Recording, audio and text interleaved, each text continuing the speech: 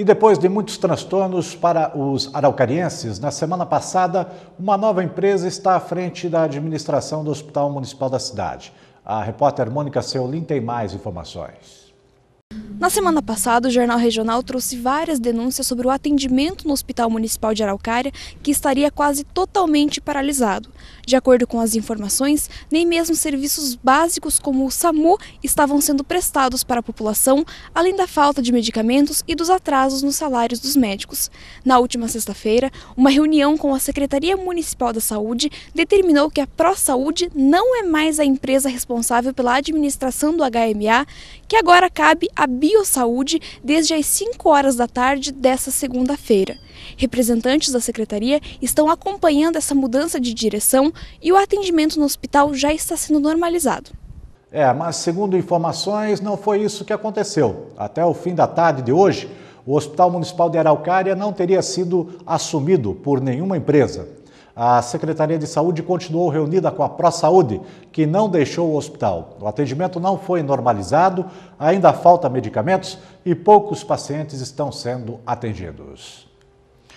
Confira agora a previsão do tempo para esta terça-feira.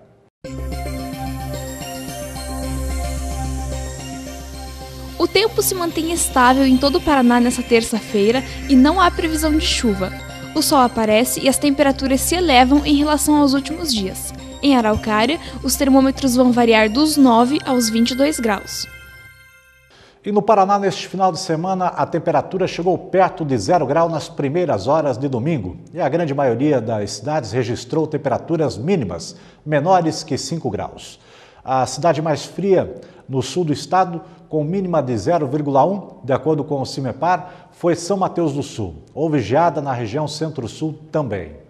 E um jovem sem identificação foi encontrado morto na zona rural de Araucária nesse fim de semana. A polícia militar foi chamada no bairro São Miguel, quase divisa entre Araucária e Curitiba, onde um corpo foi encontrado.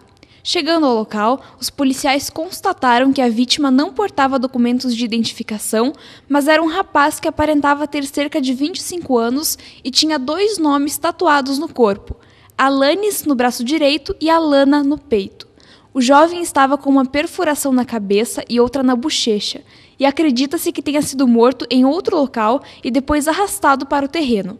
Com esse caso, foram oito homicídios em sete dias na cidade. E o Programa Nacional de Acesso ao Ensino Técnico e Emprego, Pronatec, está com inscrições abertas para 17.500 vagas em cursos técnicos e de qualificação profissional em todo o Paraná.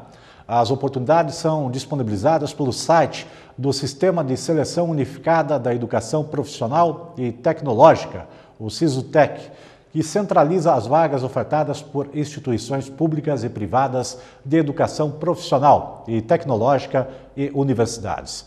Os cursos são direcionados para pessoas com idade entre 16 e 59 anos. A prioridade é para alunos que tenham concluído o ensino médio em escola pública e prestado o Exame Nacional do Ensino Médio, o Enem. Veja a seguir: vereador Clodoaldo pede para o Ministério Público investigar possível cartel de combustíveis em Araucária.